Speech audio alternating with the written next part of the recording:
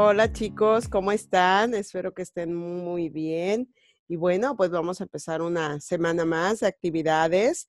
Today is Monday, November 9, 2020. Monday, November 9, 2020. Hoy es lunes 9 de noviembre del 2020. Por favor, ponle la fecha a tu libro y a tu libreta que vamos a trabajar en ellos el día de hoy.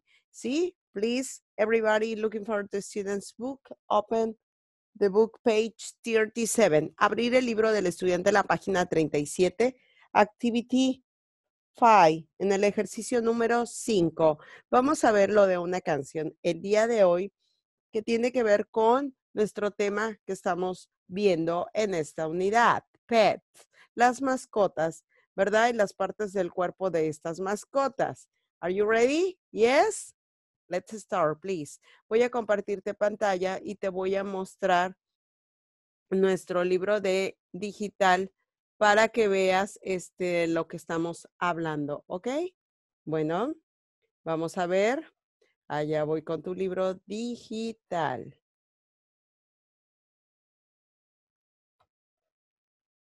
Ok. Muy bien. Bueno, ¿ya tienes la página que te acabo de dar? ¿Sí? ¿La 37? Bueno, pues este es tu libro del estudiante en digital.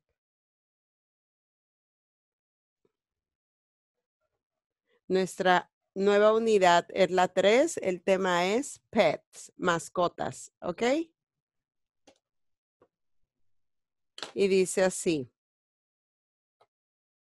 La canción es Adivina, Adivina, ¿ok? La canción se llama Adivina, Adivina. Vas a escuchar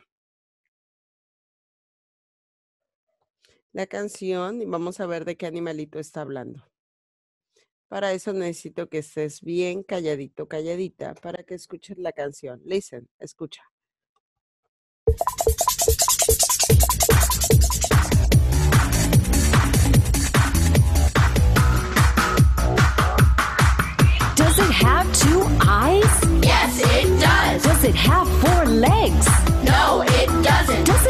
Have a tail?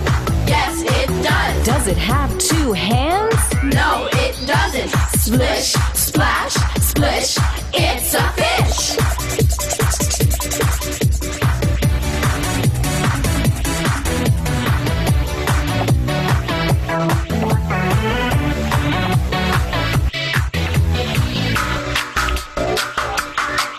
Does it have two eyes? Four legs? No, it doesn't. Does it have a tail? Yes, it does. Does it have two hands? No, it doesn't. Splish, splash, splish. It's a fish. It's okay. Bueno, ya viste que aquí vamos a utilizar eh, las partes del cuerpo que integran a unos animalitos, ¿verdad? Y también vamos a hacer preguntas con el auxiliar does, que es en simple present, ¿verdad? Bueno, dice, does it have two eyes? ¿Eso tiene dos ojos? Yes, it does. Sí, sí tiene. Does it have four legs?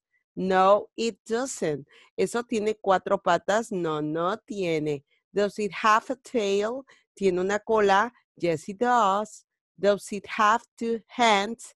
¿Tiene dos manos? No, it doesn't. Splish, splash, splish. It's a fish. ¿De qué animalito estamos hablando? De un pez. Y luego dice, does it have two eyes?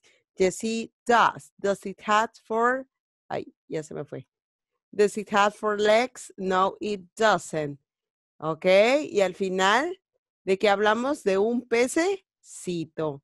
Muy bien. Bueno, ahora vamos. Esta canción la tienes aquí en tu Student's Book, ¿ok? Aquí la puedes ir leyendo e ir cantando. Ahora, fíjense muy bien. Te voy a proyectar el cuadro que viene en la página 37 abajo de la canción, sí, hay un cuadro. Yo te voy a proyectar uno que hice en Work. ¿Ya lo vistes? Bueno, aquí lo tenemos. Es el mismo cuadro. Dice, what para empezar a hacer la pregunta. Y tenemos dos auxiliares, does y do. Tú ya sabes que hay unos pronombres que van con does, que es, en este caso solo vamos a ver it, ¿ok? Ese es el único pronombre personal it que se refiere a animales o a cosas. What does it look like? ¿Cómo luce? ¿A qué nos referimos a eso, al animal? ¿Cómo luce el animal? Por ejemplo, este, si yo tuviera aquí un perrito, tú dirías, what does it look like? ¿Cómo luce? Y ya yo te diría las características que tiene ese animal. Nosotros utilizamos el auxiliar do para el pronombre they cuando hablamos en plural, ellos o ellas. Y me refiero a varios animalitos, ¿verdad? El it recuerda que se refiere solo a uno. Y la pregunta sería, what do they look like? Si tuviera un grupo de peces, así haría la pregunta, what do they look like? ¿Cómo lucen ellos? Y ya yo te diría las características. Eso es para cuestión interrogativa, para hacer preguntas. Más abajo tenemos el pronombre it, que ya te indiqué que se refiere a eso, a un solo animal. Y si yo quiero decir que eso tiene una cola, utilizo el verbo have. ¿Sí? Pero ya conjugado sería has. Con este pronombre queda has. It has, eso tiene una cola. Si solo tuviera un ojo, yo diría it has a eye. Si tuviera mm, solo una patita, yo diría it has one leg. Si tiene una cabeza, it has a head. Si tiene, por decirlo, mm, una aleta, it has a fin. ¿Ok? Bueno, utilizamos el auxiliar doesn't para oraciones negativas. It doesn't have. Eso no tiene wings, no tiene alas, ¿ok? It doesn't have a tail. Eso no tiene una cola. It doesn't have legs. Eso no tiene patas.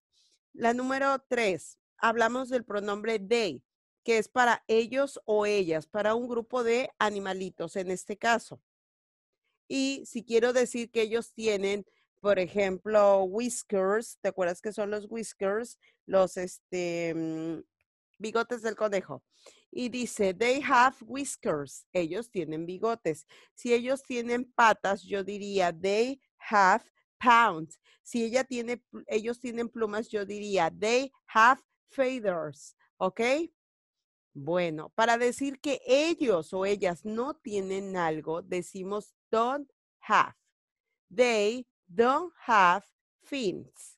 No tienen aletas. They don't have legs. No tienen patas o piernas. Y así nos vamos, ¿ok? Este es un breve cuadro donde nos referimos en forma afirmativa, que sería con has y have, en negativa, que sería doesn't have o don't have, y en interrogativa, que empezaría con what, does o do. Y al final, el signo. ¿Ok? Aquí tenemos un breve ejemplo. Dice, what does it look like? ¿Cómo luce? Y aquí dan la característica.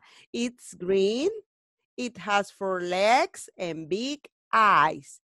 Dice, es verde, tiene cuatro patas y ojos grandes. It's a frog. Hablo de una rana. ¿Sí? Bueno. Ahora lo que tú vas a hacer es copiarme este cuadrito y este ejemplo pequeñito en tu cuaderno. Eso es todo por el día de hoy. No es propiamente una tarea, simplemente que lo tienes que tener en tu cuaderno. Ok, everybody say goodbye. Thank you very much. No es necesario que me lo mandes. Nos vemos la siguiente clase y sigue echando ganas a tus exámenes.